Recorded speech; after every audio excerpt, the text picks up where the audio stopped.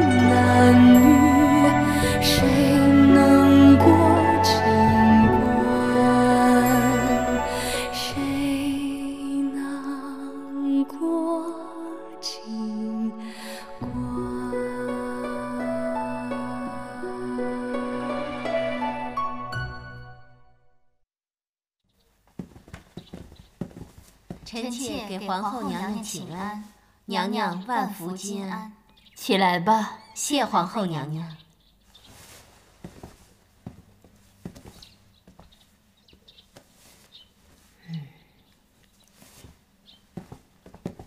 许久没见你们一起来了，如果宫中人人都如你们这样和睦就好了。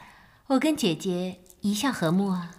天气热起来，皇上说要去圆明园避暑，过些日子就要启程。你们要带哪些人，带什么东西，都早些准备吧。是。启禀皇后娘娘，太后自从病了以后，不曾离开宫禁避暑。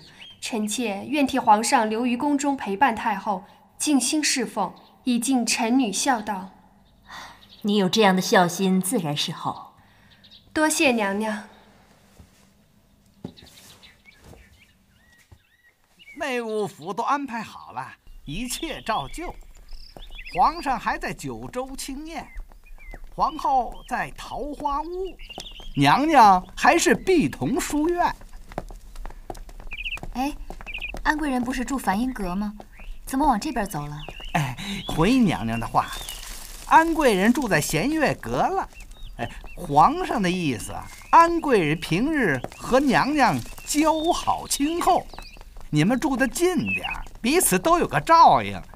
去皇上那儿路也近。本宫还有事儿，就不去安贵人处了。啊，你先退下吧。啊，奴才告辞了。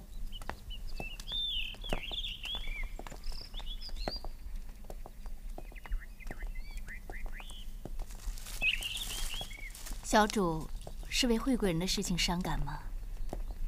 昔年眉庄春风得意。如今这弦月阁已是玲珑在主，当真是物是人非。我怕我一过去，难免会触景伤情。小主重视姐妹之情，甚是难得。只是小主应该清楚，在这个宫中，娘娘、小主多得很。今日你受宠，明日他受宠，并无定数。小主虽然在意惠贵人，也不必为此事过于伤感。锦溪，我总是爱在这些小事上计较难过。小主有时候是有些多愁善感，不过只有温柔善良的人才会如此多思呢。那冷酷之人是不会的。小主的不足之处就在于心肠太柔软，为人顾忌太多。婉娘娘，婉娘娘，哎，四阿哥，你快下来，快下来，小心别摔着，快下来！给娘娘请安，婉娘娘吉祥。你怎么爬那么高啊？也不怕跌着？除了嬷嬷，没人这么关心我。傻孩子！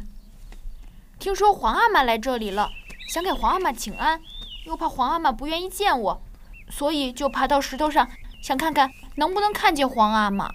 你想见你皇阿玛，我带你去见就是了。只是今日你皇阿玛正在和前朝几位大人说话呢，怕是一时半会儿停不了。要不你先回去，等皇上有空了，我叫上你一同去见，好吗？谢娘娘，儿臣只要能见皇阿玛一面就好。去吧。哦，对了，娘娘，这个给你。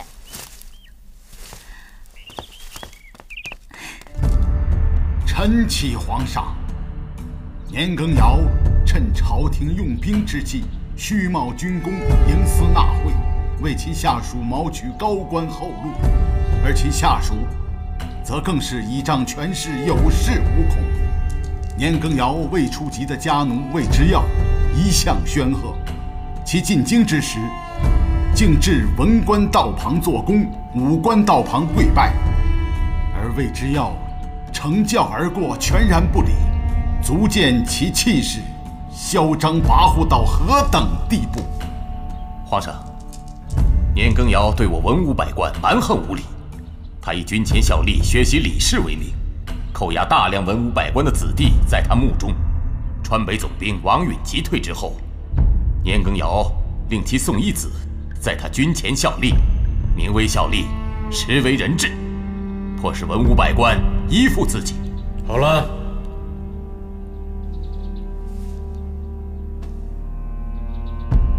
兹事体大，今日先议到这儿。明日让张廷玉、隆科多来见朕。你们归安吧。谢皇上。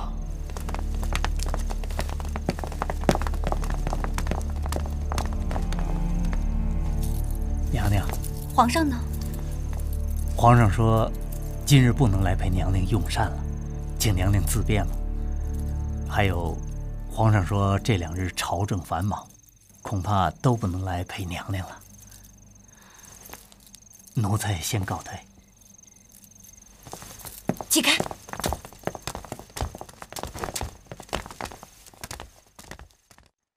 本宫仔仔细细的询问了皇上身边的人。原来是甄远道他们弹劾了哥哥和下属。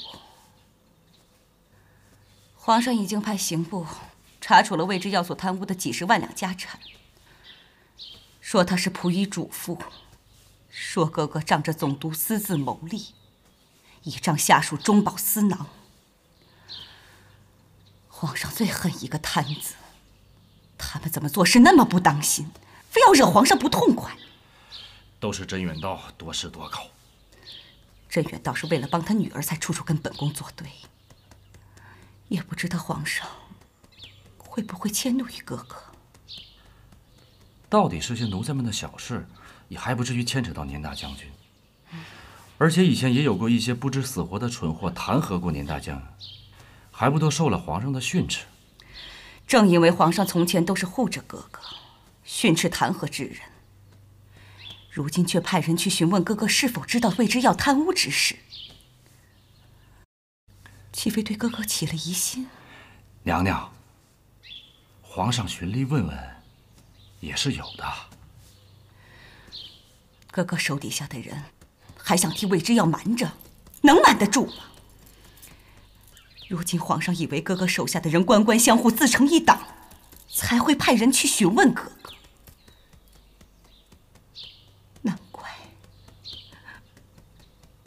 难怪皇上近日都不来本宫这儿，怕是也迁怒了本宫。娘娘别伤心，娘娘现在想见皇上一面都难，所以以后更不能替大将军分辨了。那如今怎么办？人人能说的话，本宫却不能说。娘娘，奴才觉得，为今之计，娘娘就不能再让皇上迁怒于您了。那让曹贵人替本宫开口。不同，这曹贵人一向不是皇上最宠的，她也不是皇上心尖子上的人，恐怕不便开口吧。本宫不能说的话，还得安排个人在皇上身边。替本宫开口。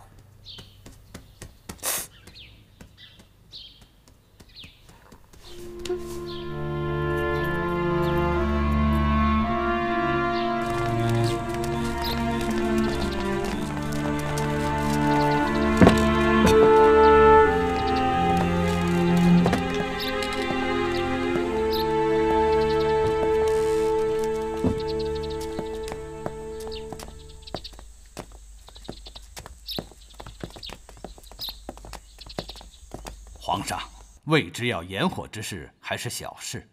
臣已查明，年羹尧派家人四处经商，谋取暴利。年羹尧之子年富年斌，伪边名色，私占盐池。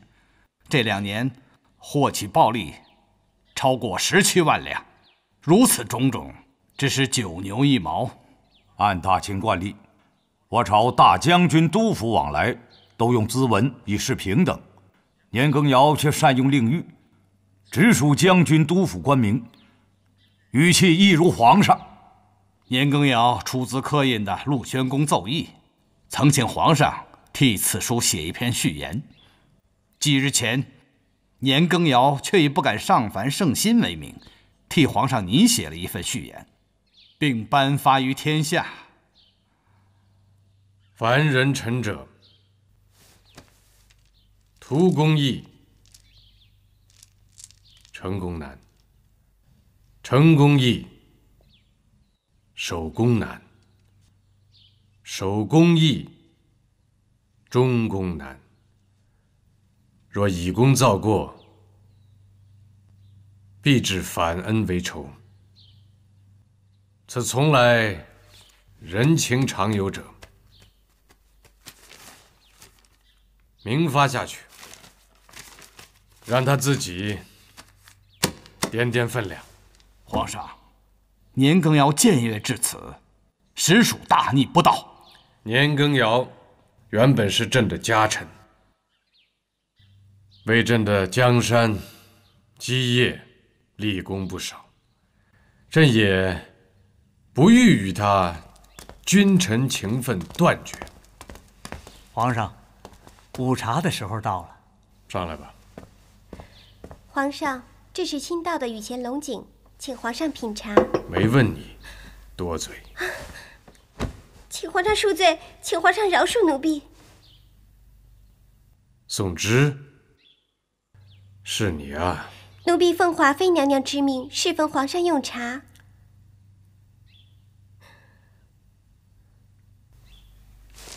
你这身衣服不错。呃。奴才告退，臣告退。归安吧。你说是华妃让你来的？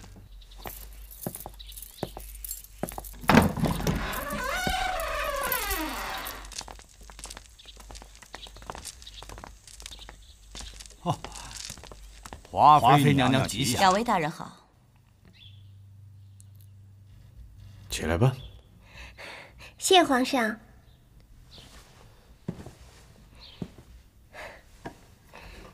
皇上请用茶。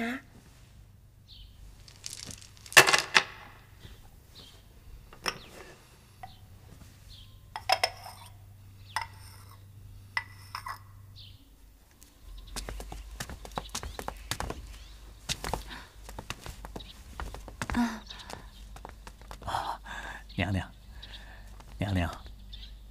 时候不早了，奴才估计宋芝姑娘今儿大概是不会出来了，娘娘先请回吧。啊啊，谢谢苏公公。哎，是娘娘您有眼光啊，这才能让宋芝姑娘入了皇上的眼。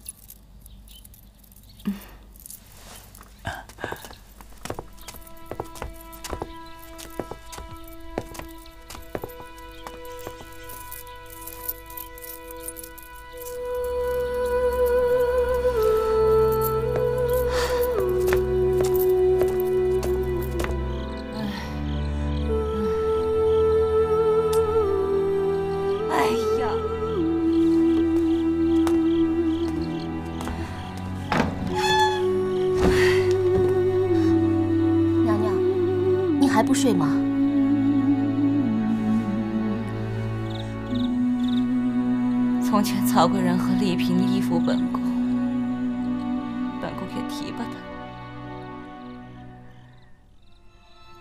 但是把女人送到皇上床上去，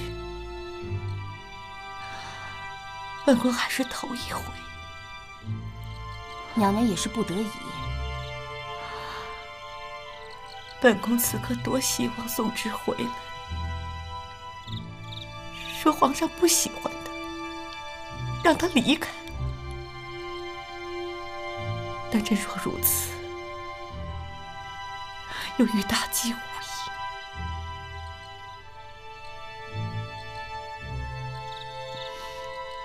下去。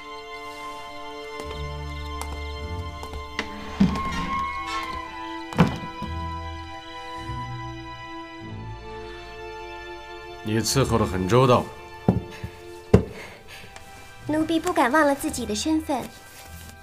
你既提到身份，朕不能委屈了你。你是华妃身边的人，朕也不能薄待了你。就破例，从答应做起，不必从官女子开始熬了。谢皇上。去给华妃磕个头，她好歹是你的主子，该谢她提携之恩。是。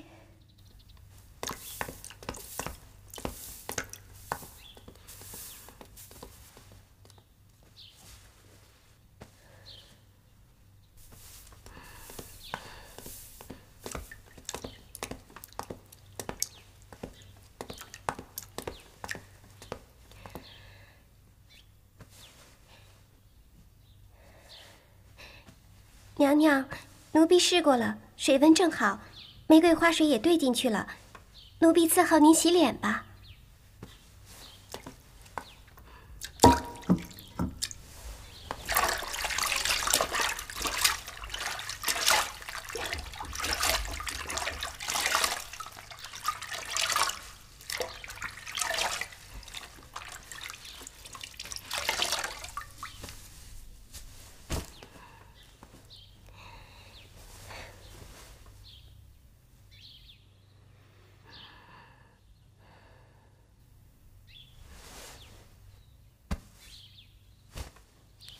回来了。皇上有没有赐你官女子的位分？皇上看中娘娘，赐了奴婢答应的位分。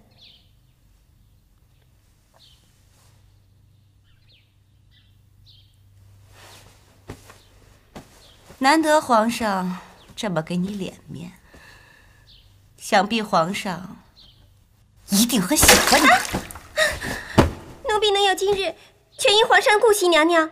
皇上亲口对奴婢说，因为奴婢是娘娘身边的人，所以不能薄待了奴婢。好了，如今都是正经的小主了，别一口一个奴婢，作践了自己。皇上让你住哪儿啊？皇上说了，因为奴婢是娘娘身边的人，所以还叫跟着娘娘住。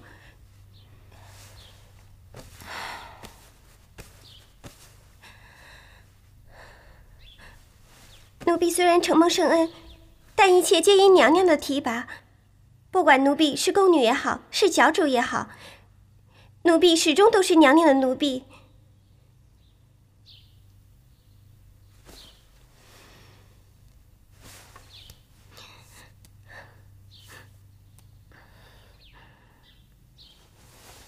起来吧，你既承恩又不忘本，本宫今后自会把你当妹妹一样。让周宁海把西间打扫一下，再派两个人伺候着你吧。多谢娘娘。下去歇着吧，让别人伺候就行了。奴婢伺候娘娘伺候惯了，让奴婢替娘娘上妆梳头吧。难得你有这份心。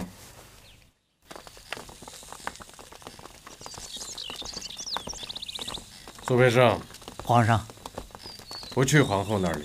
这，那皇上您是回九州清宴用膳？去华妃那里。哦，前边，去清凉殿。你是不是觉得朕心情不定、喜怒无常啊？哎呦，皇上，您是一国之君呐，您想到哪儿就到哪儿，这是应该的。朕有日子没去华妃那儿了。啊，华妃娘娘已变得贤惠了。还要给朕看她的贤惠，朕就看看。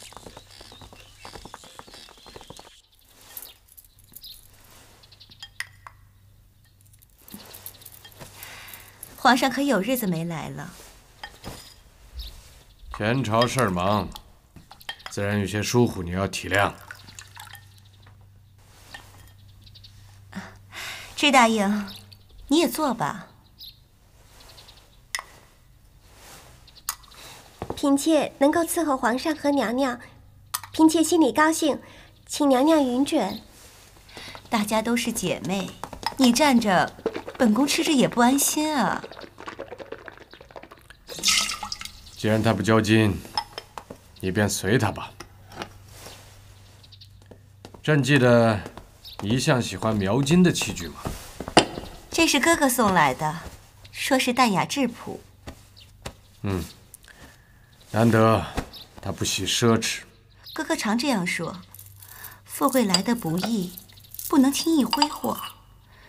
只是哥哥身处高位，又得皇上圣恩隆重，难免有人会妒忌陷害。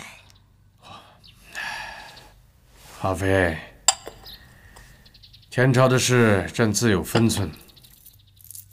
你在朕身边多年，应该知道哪些话能智慧，哪些不能。啊，是。啊，皇上用完膳了，不如让支大应伺候皇上午睡吧。好啊，正好朕也乏了，去支大应屋里吧。是。华妃要举荐人也好，怎么选了身边的宫女呢？华妃生怕日后再度失宠。其实，自从失去丽嫔帮助后，她便已有心栽培人手。只是她不愿用高门官宦的女子，怕日后分宠太甚不好驾驭，因此才选了宋芝，也算是知根知底的人。宋芝可否成大器？姐姐可曾留心？娘娘想听真话吗？华妃这次太心急了。怎么说？宋之确实有几分小聪明，也颇有姿色，可她太过畏惧华妃，太听话了，因此不足以成大器。华妃想用宋之来分您和安贵人的恩宠，实在不是明智之举。我从未想过一个宋之可以抗衡。华妃也算是黔驴技穷了。若是在以前，她绝对不会允许身边有姿色的侍女贸然的接近皇上。可到了今时今日，华妃自己也知道，今时不同往日了。是，娘娘，您的父亲带头弹劾年羹尧和他的家奴，这每一本都正中年氏要害。娘娘，皇上今儿一早就封了华妃身边的一个宫女为答应。宫女进封也该从官女子开始，怎么没听皇上说什么时候临幸的？就昨晚的事，奴婢觉得这根本不符合规矩。规矩也是皇上定的规矩。宫里也很久没有新宠了，要封就封吧。哎呀，你怎么梳的？梳好一点。天气这么热，幸好娘娘带咱们去看戏。是皇上有心，惦记着咱们爱看戏。一早出来便这么热，到了午后还不知要什么样子。小主最怕热，等下回去先沐浴更衣。华妃娘娘金安。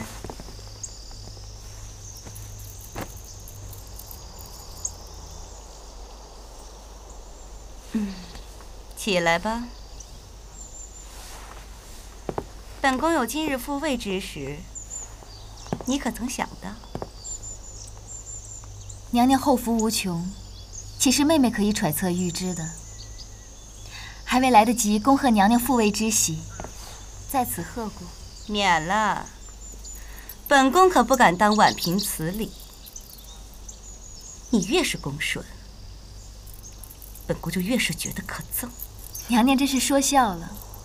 难道娘娘是喜欢妹妹对娘娘不恭不顺、直言犯上吗？妹妹并不敢肆意冒犯娘娘，不敢冒犯也已经冒犯了。本宫绝不会忘了昔日之事。娘娘教训的极是，妹妹愿意时时聆听娘娘的教诲。哼，你愿意时时聆听，本宫却不愿时时见你这副面孔。娘娘莫要生气，娘娘千金之体，若为一介小小宫嫔气伤了身体，倒不值许多呢。世间尊卑有道，哪里有尊贵之身为卑贱之身生气之缘故呢？那岂不是太便宜了那些卑贱之人？你，这不是深得皇上宠爱的宋芝妹妹吗？方才妹妹说的话实在是正理。世间尊卑有道，妹妹这样振振有词、屈居末流的答应，实在是叫人惋惜。本宫一定为妹妹向皇上进言，非值嫔位或者是贵人，方能彰显妹妹的身份。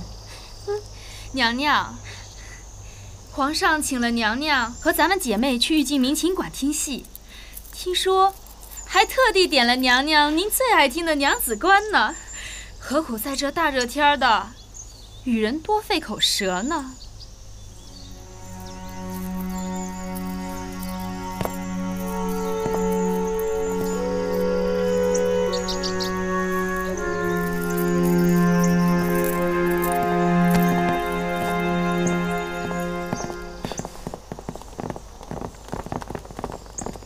刘珠，我们走。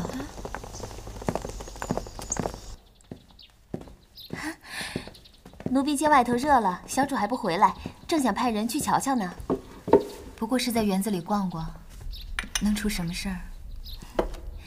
你可不知道，气死我了！竟然碰上华妃和新得宠的支答应，害得小主受好大的委屈。这话怎么说啊？小主现在很得皇上喜欢，难道他们都不知道顾忌的吗？华妃对小主是一向如此，可恨的是那个支答应，宫女出身，还敢对小主句句带刺儿的。支答应原是华妃身边的人，自然仗着华妃为虎作伥了。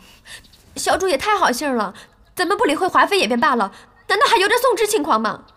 要是依我的性子，必定狠狠赏他几个耳光，再禀报皇上，让他去新者库服苦役。你听听刘珠的嘴，越发厉害了。眼见我手下就是他当家了，你的性子也太急了。光是急性子就能办成事吗？我叮嘱过你们，不要和华妃顶撞。如今再说一句，也不要和她身边的人顶撞，敷衍过去就行了，还怕没有来日吗？那那宋芝对小主这样轻慢，难道小主还要放过他吗？浣碧，你说呢？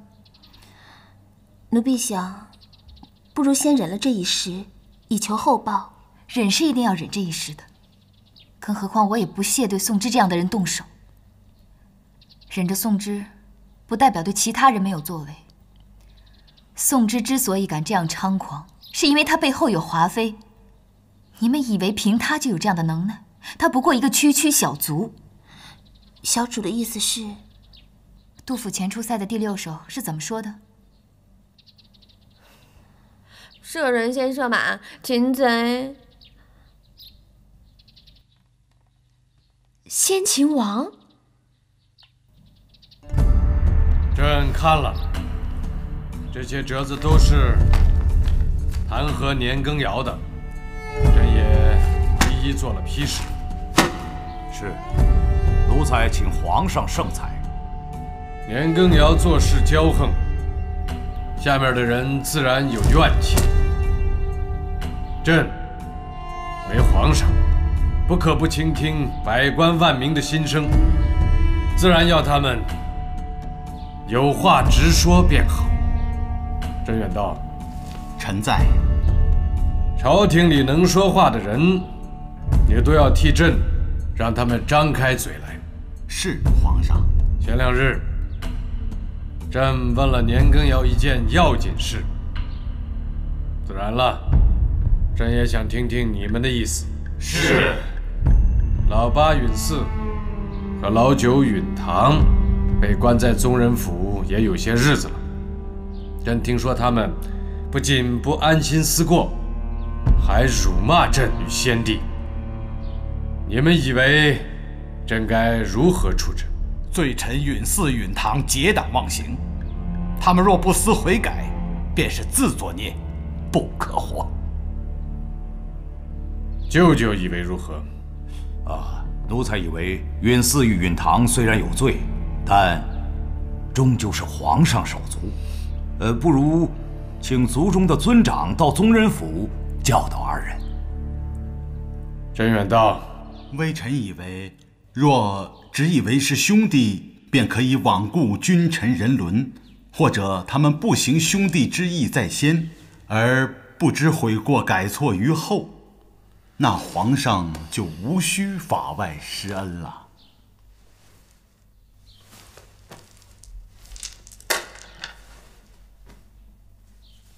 三位爱卿说的都有理，朕在斟酌。皇上问及哥哥该如何处置允嗣与允堂，你怎么看？大将军近日屡受弹劾，而皇上却却褒奖弹劾之人，恐怕大将军正为此事郁郁不安，唯恐应答不当，又见罪于皇上。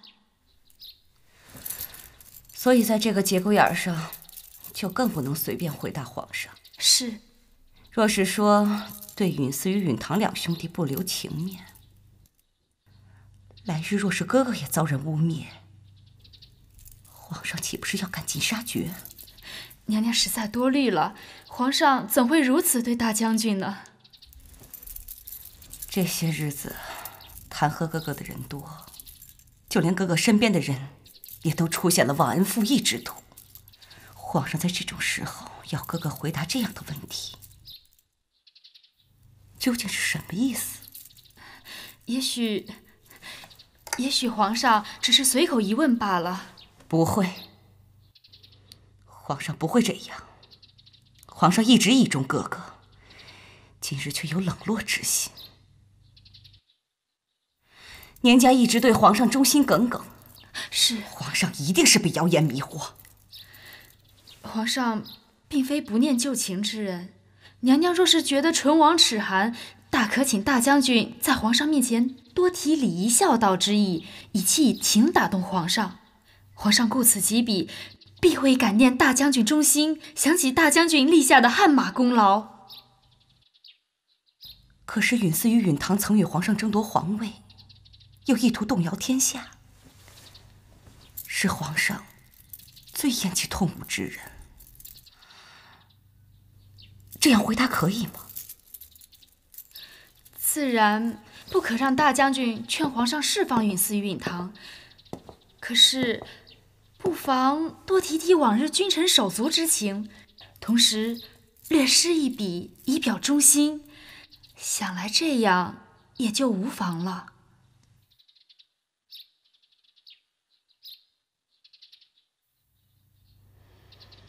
这也不失为一个折中的方法。皇上心软念旧，待娘娘是这样，待大将军更是这样了。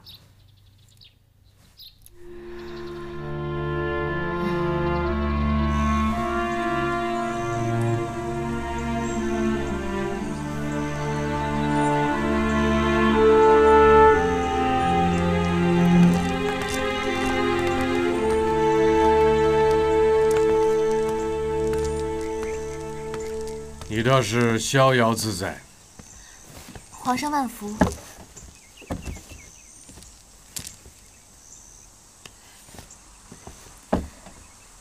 臣妾也是无事可忙，躲懒罢了。皇上是从勤政殿过来吗？华妃刚才来见朕，是为年将军的事吗？是为你。当然，朕知道你已经尽力容忍了。皇上是不会相信的，是吗？是。华妃跟朕说你对她不敬，还带了知答应，哭哭啼啼不休。她生性要强，不达目的绝不罢休。那皇上如何打算呢？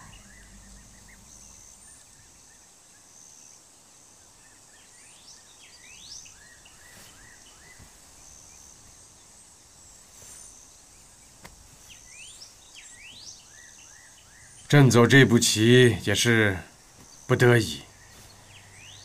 朕不想你听到这些烦心事为朕担忧。朕只告诉你，年羹尧越来越放肆，朕是实在。不能再忍了。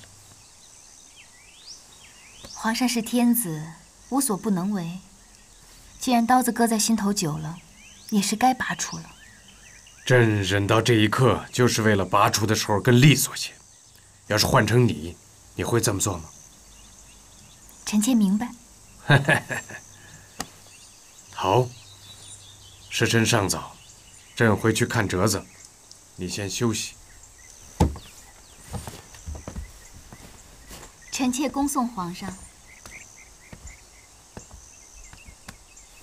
明日，朕在九州清宴设宴，你早点过去。是。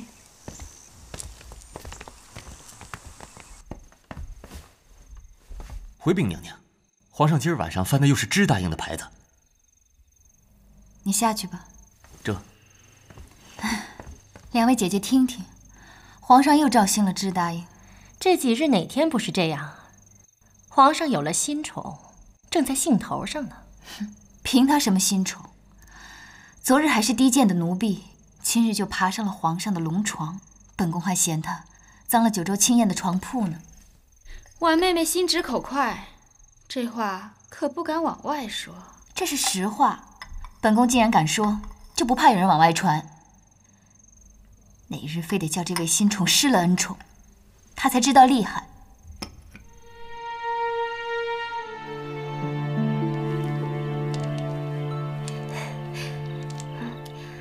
皇上，听说您最近不喜欢您大将军，总是批折子责骂他呢。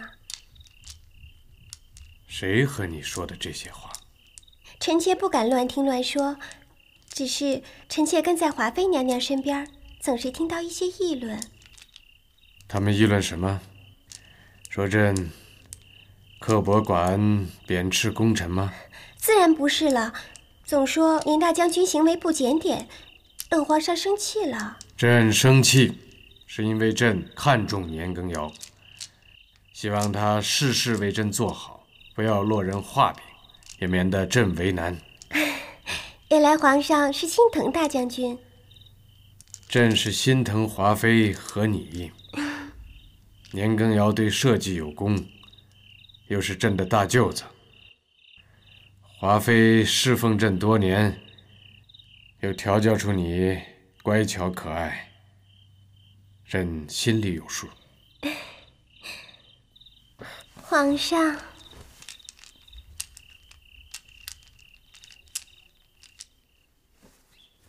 哥哥按本宫的意思递了折子给皇上，皇上什么话都没说。近日倒是停了对哥哥的训示，那就好了，嫔妾也能放心了。你是不知道啊，本宫每日都知道皇上在折子上是如何训斥哥哥的，这心里真是一万个心惊胆战。幸好前些日子宋芝侍奉皇上，从皇上的口气里听出，皇上还是觉得哥哥有大功于社稷。是，本宫也可以放心了。皇上训斥大将军，不过是那些无事生非的小人多了，要做做样子罢了，又怎么会真心的斥责大将军呢？你的法子还算管用，只要皇上见过奏折，能对娘娘更加眷顾，嫔妾也就安心了。算你有心。只要皇上对本宫和哥哥宠爱如初，本宫自然不会亏待你。待到温宜成人之日，本宫会让皇上封你一个嫔位的。娘娘，知答应侍寝回来了，他想给娘娘请安。罢了，让他先歇着去吧。这，等等，别忘了把本宫的参汤赏给他喝。这，嗯，昨儿个又是支答应侍寝呢，可见有娘娘调教，支答应果然颇受恩宠啊。这也是他自己的造化。本宫一样调教你，你倒不如他得宠。嗯，不过这几日，嫔妾的耳朵里刮过几阵风，听说婉嫔对支答应受宠很是不满呢。这些话本宫在皇上那儿倒是听了一些，难怪皇上今日怎么都不见他，原来是因为这个。皇上啊，正在兴头上。怎么会愿意听婉嫔这些吃醋的酸话呢？好了，哼，他若觉得酸，本宫就让他酸个够。